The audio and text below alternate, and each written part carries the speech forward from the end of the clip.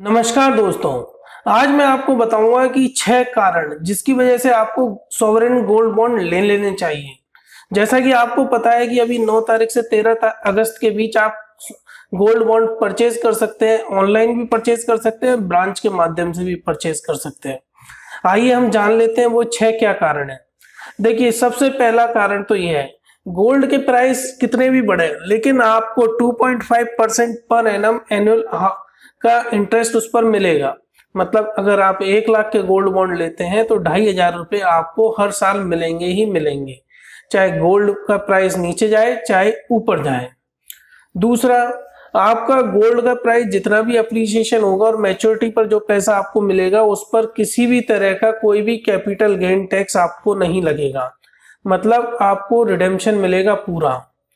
आप इस gold bond के जो पेपर होंगे, आप इसको ऐसे कोलाट्रल भी यूज़ कर सकते हैं अपने व्यापार में, अगर आपको इसको ऐसे सिक्योरिटी रखना है बैंक में बैंक इसको ऐसे सिक्योरिटी एक्सेप्ट कर सकती है। आपको जब आप पर आपके इससे अलग खर्चे बच जाते हैं, जैसे कि अगर आप फ़िज़िकल गोल्ड अगर स्टोर रखेंगे तो हो सकता है आप पर मेकिंग चार्जेस जीएसटी लगे, लेकिन आप पर फिजिक गोल्ड बॉन्ड पर इस तरह का कोई भी चार्ज आप पर नहीं लगेगा। आप इसको स्टॉक मार्केट में ट्रेड कर सकते हैं इजीली यानी कि स्टॉक मार्केट में जब चाहे आपकी मर्ज़ी हो, तब आप इसको बेच सकते हैं। ये बिल्कुल सिक्योर है। किसी फ़िज़िकल ये फ़िज़िकल गोल्ड तो है नहीं जो आपको स्टोर करना है।